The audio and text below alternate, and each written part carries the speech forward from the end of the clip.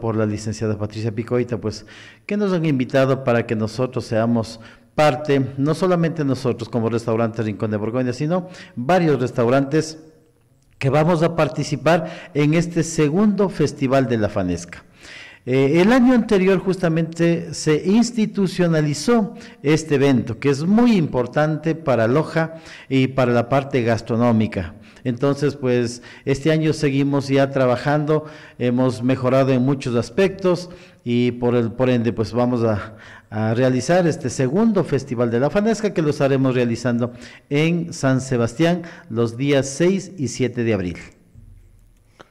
Bueno, bueno, siga hablando un poco más del festival porque la verdad es que no podría, a ver, es un festival que dice usted ¿Qué, número es? El segundo festival, mi estimado es Es el, segundo y ya. Pues. Sí, y bueno, pues no, hablar de esta preparación ancestral, lo que es la fanesca, es muy, muy importante para nosotros, para los ecuatorianos y también para los cocineros, pues estamos inmersos en esta maravillosa profesión como es la gastronomía. Eh, bueno, eh, la, la preparación de la fanesca, pues no es se data desde hace muchos años, siglos atrás, y pues nosotros esta preparación lo realizamos con, con, la cosecha de los primeros granos tiernos que tenemos ya en esta época prácticamente.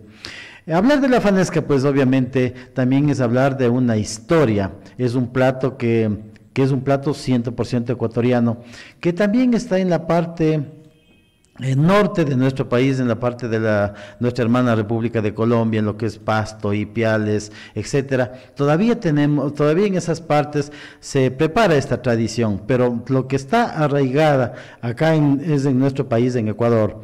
Eh, como le manifiesto, pues no hace muchos años atrás, este eh, los españoles contrataron a un, chef francés para que haga esta preparación como penitencia en esta época de Semana Santa.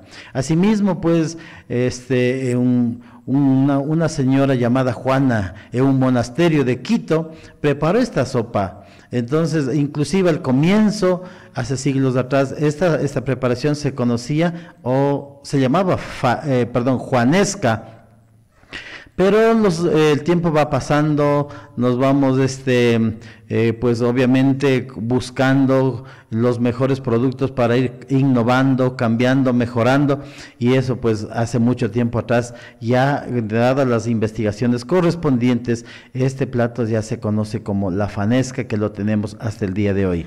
Ya, la, la, la, la fanesca entonces va hasta, son los días 6 y 7, que sería ¿Qué día? jueves y viernes santo. Jueves y viernes santo. Y esto va a ser eh, al aire libre. Sí, al aire libre. Sí, justamente. Eh, ¿Los precios? Eh, bueno, los precios normalmente pues nosotros nos mantenemos con los precios del año anterior. El costo va a ser de 8 dólares, licenciado. 8 dólares. Pero va incluido el postre, va incluido una, una bebida también. Entonces... Es un, es un plato pelucón, ¿no? Es un plato un plato caro para, para nuestro medio, 8 dólares no, no, no, no es un precio accesible eh, para todo el mundo, ¿no? Imagínense eh, parejas, hijos ahí, que sea, estamos hablando de, de, un buen precio. A ver, si van 4 por 8, 32, si estamos hablando de, eh, que ahí no tengo que llevar nada. Entonces son 32 dólares pero claro, a lo mejor con un plato pueden comer dos, porque debe ser un plato suculento y, y, además un plato que es pesado, un plato fuerte, ¿no? Así es, mi estimado licenciado. o sea, el plato, pues obviamente, de acuerdo con los ingredientes con los cuales preparamos, eh, no, esto lleva eh, mínimo 12 granos, entre 18 y 19 productos con los cuales elaboramos. Asimismo, pues nosotros manteniendo la tradición, este plato lo preparamos con el bacalao. El, el, producto más costoso de esta preparación es, el, bacalao, prácticamente. Claro. obviamente que se puede abaratar un poquito los costos si preparamos con el pescado seco que sí conseguimos en los mercados a un precio menos, siquiera eh, menos de la mitad. Entonces, pero, ya, no es un plato, ya no es una de buen nivel. Exactamente, así es, es mi una fanesquita ya de mercado, así humilde, ¿no? Eh, humilde. sí, licenciado, humilde porque ¿qué, se puede esperar con pescado seco? Así es. Bueno, ni con bacalao ni con pescado seco hay algunas personas que no se les van a servir. Pero bueno, muy interesante. Eh, vamos a despedirnos 6-7 de abril. El, esto es en San Sebastián, 6-7 y 8 el precio. Así está muy bien. 6 y 7 de abril, jueves y viernes, y el precio es 8 dólares el plato en San Sebastián. Todo es con bacalao. Con bacalao. ¿Cuántos platos eh, eh, sospechan o, aspiran vender? Eh, muchos. Muchos, siquiera, por lo menos tenemos previsto vender unos 200 platos nosotros como restaurante. 200 platos. Porque no es mucho, pues 200 platos. pero también...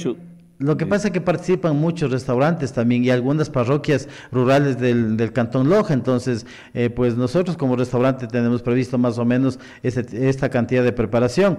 Entonces, dada la situación que en años anteriores hemos tenido un éxito total, el año anterior inclusive eh, tuvimos a, las, a la una de la tarde ya no teníamos producto, entonces en vista de eso pues nos estamos preparando todos los restaurantes que vamos a participar de la mejor manera. Bueno, es que la va para el almuerzo. ¿No? Exactamente, así es mi estimado ya, Entonces, eh, para el almuerzo, a la una de la tarde ya casi no hay. Cordialmente invitados a participar en este importante evento. Muy bien, le deseamos suerte, que le vaya extraordinariamente bien en este evento tan, tan bonito que han organizado, eh, en este caso el chef Luis Alvear. El chef Luis Alvear nos habla del segundo festival de la Fanesca que se desarrollará